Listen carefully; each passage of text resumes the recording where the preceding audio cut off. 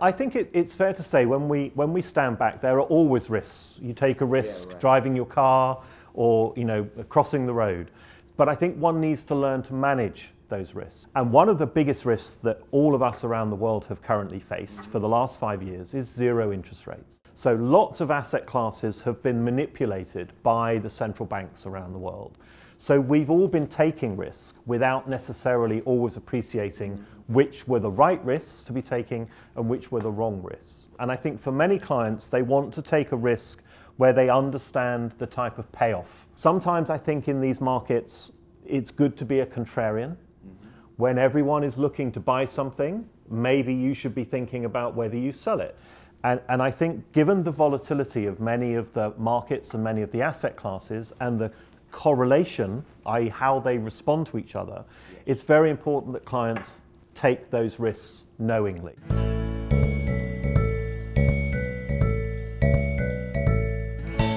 We think it is important that in a world where there's a lot of volatility Yeah. and where we believe beta returns, the market returns, both from bond markets and from equity markets, are going to be lower, mm-hmm. We think we need to be active and to add alpha to our clients so that they can earn the type of returns that they have historically earned.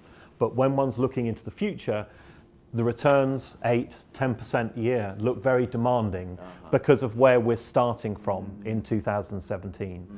That's why we're passionate about being active investors. And therefore, I think one of the reasons for being an active investor, one of the reasons for looking across many asset classes as a multi asset investor or a balanced investor, is because at certain times, the volatility of those asset classes will give you the opportunity.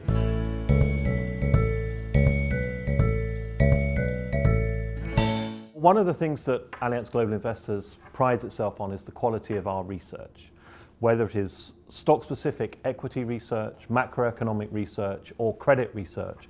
We believe not only in, in doing it ourselves so that we can set our own time horizons and, and emphasize our own um, uh, um, uh, forecasts inside those, uh, th- those, that, that research, so that when the markets overshoot one way or another, you are able to take the benefit of that volatility. Importantly, whether one is investing in companies in Taiwan or whether one's investing in companies in Germany, many of them are now global. So we make sure that all our research is shared globally.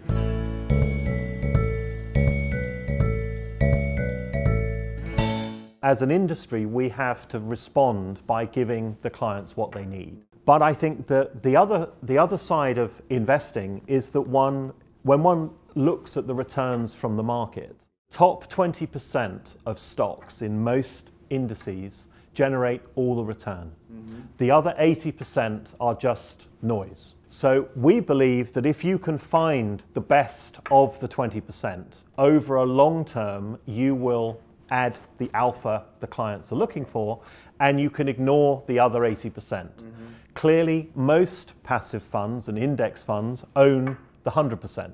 So you have the rubbish as well as the quality. And so we think that is where passive doesn't fulfill a role.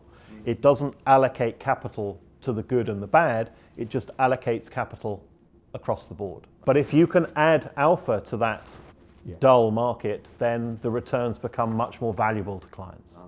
So that's why we believe in being active investors.